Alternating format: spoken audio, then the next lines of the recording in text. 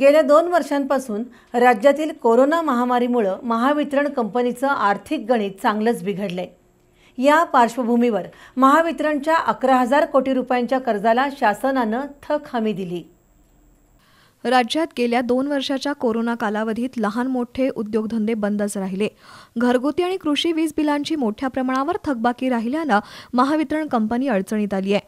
Corona कालावधीत विजेची मागणी राज्यात दहा हजार मेगावॅटनं कमी झाली आहे. या सर्व कारणांमुळे महावितरणचं उत्पन्नही झपाट्यानं कमी झालंय. परिणामी कर्जाचे हप्ते व्याजासह देण्यात महावितरणसमोर अडचणी निर्माण झाल्यात.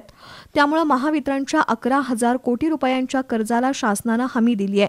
यामध्ये आठ हजार पाचशे कोटी रुपयांचं कर्ज आणि त्यावरील दोन हजार नऊशे एक कोटी रुपयांचा व्याज अशा एकूण अकरा हजार चारशे एक कोटी रुपयांच्या कर्जाला शासनानं हमी दिली आहे.